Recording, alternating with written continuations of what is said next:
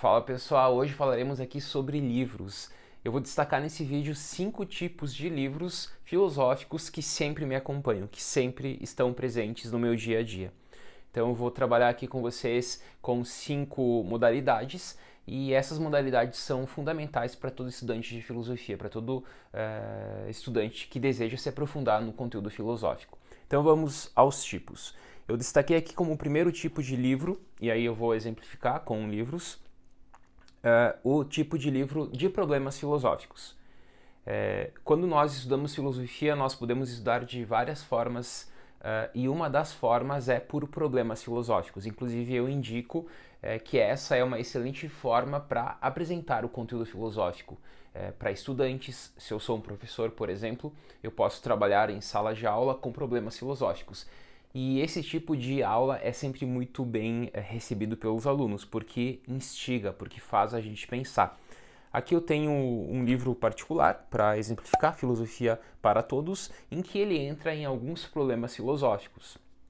Por exemplo, é, o que é Deus, é, o que é a mente, o que é a liberdade e, e outros problemas é, que a filosofia acaba trabalhando. Então, um primeiro tipo de livro que eu indico. Esse é apenas um exemplo, mas qualquer outro livro pode servir.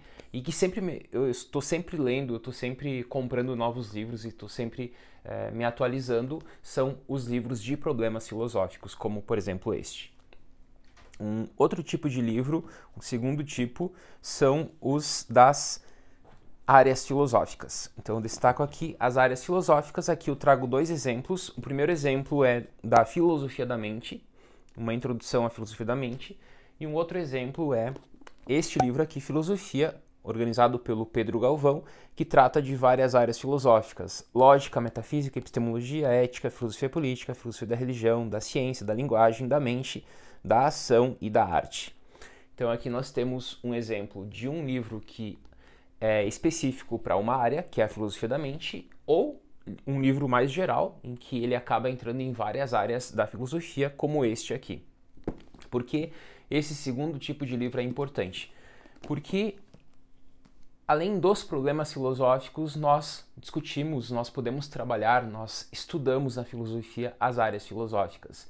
Então, qualquer assunto que tu for estudar na filosofia, lendo qualquer livro, tu vai estar inserido dentro de uma área ou de várias áreas tu pode estar inserido dentro da ética ou da ética da filosofia política, da filosofia do direito e assim por diante. Tu pode estar discutindo, por exemplo, a questão da liberdade. Tu vai discutir a questão, por exemplo, metafísica ou ética ou metafísica e ética e, ou política ou jurídica. Então, dependendo da área filosófica que tu assumir, o problema filosófico que tu vai investigar, a liberdade, o ser, a mente, a ação, ela vai estar tá inserida, esse problema vai estar tá inserido dentro de uma ou mais áreas filosóficas. Então, se atualizar lendo obras de problemas e de áreas filosóficas é bem interessante. Um segundo tipo de livro, então, são sobre as áreas filosóficas. Um terceiro tipo de livro, e esse é fundamental, eu sempre indico, é o livro de História da Filosofia. Aqui eu trago o exemplo do Kenny, os quatro volumes da História da Filosofia do Kenny, uh, que vai do antigo ao contemporâneo. E sim, todo estudante de filosofia, todo interessado por filosofia tem que conhecer a história da filosofia. Por quê? Porque sem o conhecimento da história da filosofia vai ficar difícil ler uh, muitos autores. Porque a maioria dos autores, dos filósofos, faz um diálogo com outros autores de outros períodos.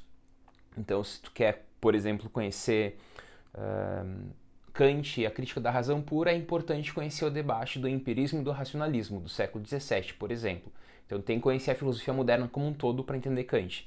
Se tu quer conhecer um Agostinho, tem que conhecer a filosofia antiga. Se tu quer conhecer um Heidegger, tem que conhecer a filosofia antiga, principalmente antiga, medieval, moderna também, e assim por diante. Então, uh, uh, uh, o estudo da história da filosofia é importante porque ele vai te pôr nesse cenário, né, antigo, medieval, moderno e contemporâneo, e tu vai conseguir, olhando de cima para baixo, ter essa visão dos autores e as relações possíveis entre os autores. Não só isso, mas também compreender os autores, porque muitos autores, como eu disse, eh, estão em diálogo constante com outros autores de outros períodos. Um terceiro tipo de livro que eu indico, então, é a História da Filosofia.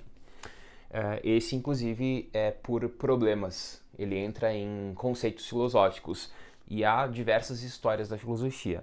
A famosíssima do Reale Antissérie também vai trabalhar com um, uma linha mais cronológica, né, dos pré-socráticos, período clássico e assim por diante. Então há diversas histórias da filosofia que são interessantes. Um quarto tipo de livro que sempre me acompanha, que está sempre comigo, eu, eu indicaria inclusive esses três primeiros que eu apresentei, são livros para te dar a base. Um livro de problemas para entrar em assuntos interessantes e para ter uma visão geral sobre os problemas. O livro de áreas filosóficas e da história da filosofia é, é, a, é a base. Assim, tu, tu tem que conhecer as áreas filosóficas e a história da filosofia. Assim, é, o é a base da base. Mas depois disso, o que eu devo fazer? Bom, depois disso, tu vai então fazer a leitura de clássicos filosóficos e de seus comentadores. Então, o quarto tipo de livro que eu indico são de comentadores. E o quinto uh, tipo de livro que eu indico são dos clássicos filosóficos. E aqui eu vou comentar uh, junto porque uh, esse é um tipo de estudo que a gente acaba fazendo de forma conjunta. Então, aqui eu começo indicando os comentadores e depois puxo os clássicos. Por exemplo, eu vou ler o seguinte clássico. Eu vou ler a Fenomenologia do Espírito do Hegel. É um livro difícil, é um livro que eu vou precisar dominar algumas áreas filosóficas, como a filosofia da mente, porque ele vai tratar da questão da consciência, a teoria do conhecimento, a ontologia. Então aqui tu vai encontrar debates sobre ontologia, sobre conhecimento, sobre mente, sobre consciência. E, portanto, tu vai estar inserido dentro de, dessas áreas filosóficas, lendo esse livro. Por isso é importante, como eu disse, ler as áreas filosóficas. Além disso, tu vai estar discutindo aqui, dentro da história da filosofia, tu vai estar discutindo o pensamento dos antigos até Hegel, basicamente. Então é importante conhecer a história da filosofia. Mas ao ler esse livro, é um livro super difícil. E boa parte dos livros de filosofia são difíceis, os livros, os clássicos, os livros dos filósofos.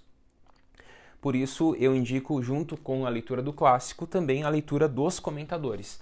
Ao ler, por exemplo, a Fenomenologia do Espírito, eu indico obras introdutórias a Hegel ou a Fenomenologia do Espírito. Poderia ser um livro introdutório a Hegel, já, ajuda bastante, ou algo mais específico, um livro, um manual de leitura sobre a Fenomenologia do Espírito. Por exemplo, este, que é uma chave de leitura da Fenomenologia do Espírito.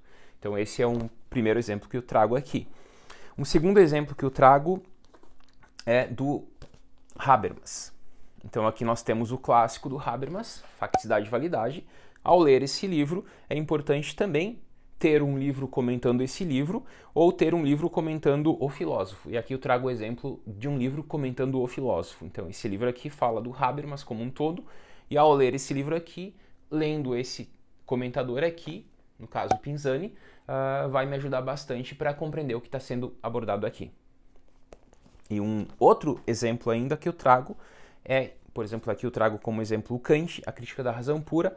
Ao ler a crítica da razão pura do Kant, ou qualquer outra obra do Kant, eu posso então acompanhar a leitura com o dicionário Kant. Então tem muitos filósofos que possuem dicionários em que nesse dicionário Kant tu vai encontrar os conceitos que o Kant utiliza e as explicações a partir da filosofia kantiana. Então são três exemplos uh, que eu trago aqui. Um exemplo de dicionário sobre filósofos, um exemplo de comentador sobre obra e um outro exemplo de comentador sobre o filósofo. Bom, resumindo, então, nós temos o quê? Os cinco tipos de livros que, que me acompanham são os livros de problemas filosóficos, os livros da história da filosofia, das áreas filosóficas, os clássicos, não tem como deixar de fora, tem que ler os clássicos, porque tudo isso é, é uma preparação para os clássicos, mas os clássicos muitas vezes são difíceis, e aí nós vamos para os comentadores para te auxiliar com os clássicos. Claro que aqui nos comentadores, muitas vezes eu acabo fazendo a leitura de textos como artigos, uh, textos que eu encontro na internet, porque uh, é difícil encontrar, por exemplo, eu estou lendo aqui um Habermas, né? eu estou estudando o capítulo 3 a parte 3 do capítulo 3, é algo bem específico. Então eu não vou encontrar um comentário sobre essa parte do Habermas no livro geral de Habermas. Por isso, eu posso, nessa parte dos comentadores, buscar também textos, artigos, especialmente artigos, teses e dissertações uh, no Google mesmo, na internet, e esses textos vão me ajudar bastante na compreensão dessa parte específica do Habermas. Então, é uma dica que eu passo para vocês e que eu sempre acabo uh, utilizando nos meus estudos. Hoje, em média, eu tenho dois blocos de estudo, um bloco de manhã e um bloco de tarde. O bloco de manhã é das 7 a meio-dia, o bloco da tarde é 1 e meia, 5 e meia, mais ou menos. Então, eu tenho esses dois blocos de estudo. E ao preparar aulas, eu sempre acabo lendo livros de problemas filosóficos, de áreas da história da filosofia.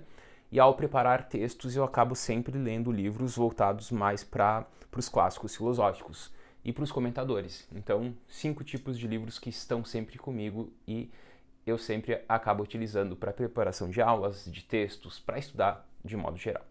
Bom, pessoal, quem chegou até aqui, eu peço para vocês comentarem aqui nos comentários outros tipos de vídeos que eu posso fazer sobre livros, passando para vocês indicações de leituras. Então, vocês podem comentar aqui áreas filosóficas eh, que eu posso comentar, dando dicas de livros para vocês ou de pensadores, ou de áreas, ou de histórias, ou enfim, fica a critério de vocês. E nos vemos no próximo vídeo. Quem gostou desse vídeo, então, peço para curtirem o vídeo, comentarem Filosofar é Preciso e se inscreverem no canal. Até o próximo vídeo.